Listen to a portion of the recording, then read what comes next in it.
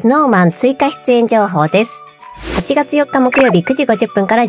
時25分、フジテレビノンストップ。深沢くんがレギュラーとしてスタジオ生出演します。深沢くんは木曜各週レギュラーとして平成のぶしこぶし吉村さんと交互に木曜日に出演しています。本来は先週が深沢くんの番だったんですが、深沢くんの都合か吉村さんの都合かわかりませんが、先週は吉村さんが出演したんですよね。なので、順番がずれて、明日8月4日木曜日は深沢くんが出演となります。ということで、8月3日水曜日から8月4日木曜日のスノーマン出演情報をまとめると、8月3日水曜日17時、スノーマン公式 YouTube チャンネルにて YouTube 動画が配信されます。8月4日木曜日、フジテレビノンストップに深澤くんが出演。8月4日木曜日、スノーマンのスノーマンマに阿部くんと佐久間くんが出演となります。8月5日金曜日以降の出演情報は明日8月4日木曜日の夕方に動画を上げます。最新のスノーマン出演情報の動画を出しているので、ぜひチャンネル登録お願いします。ご視聴ありがとうございました。